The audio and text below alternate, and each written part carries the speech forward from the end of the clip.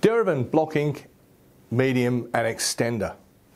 Now the reason I'm holding the Derivan Block Ink here is because we've been making water-based relief printing inks since last century. But in talking to artists, we found that they're actually interested in having a medium that they could add to their normal acrylics that would allow them to do the same as what the block inks do.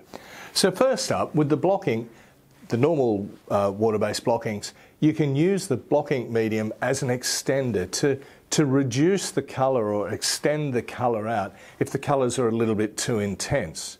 Now remember, this is just for printing on paper or, or substrates that you're not going to wash. It's not for fabric, for instance. When mixing the block ink medium with acrylic, you generally start about one to one ratio just to see where you're going. Now it'll depend on which acrylic you're using and how intense it is as to how much opacity that you're going to get.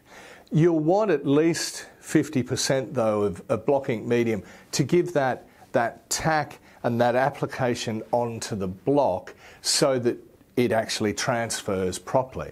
Obviously the more block ink medium that you add, the more transparent the prints will be and vice versa. If you add more colour, the prints will be more opaque, but of course you'll, you'll have less tack and that might be fine. It just depends the way that you work and you expect the ink to work uh, on your block. The block ink and the block ink extender with acrylic work beautifully on paper, cardboard, any other substrate that you might paint on for instance, but they're not meant for fabric.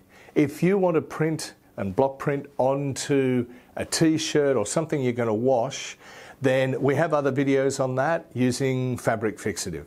So the block inks and the block ink medium with acrylic are fantastic for paper, cardboard, canvas, any sort of substrate that you'd normally paint or print on, but not for fabric where you're going to wash them like a t-shirt or something like that. But we've got plenty of videos about that, so don't forget to subscribe.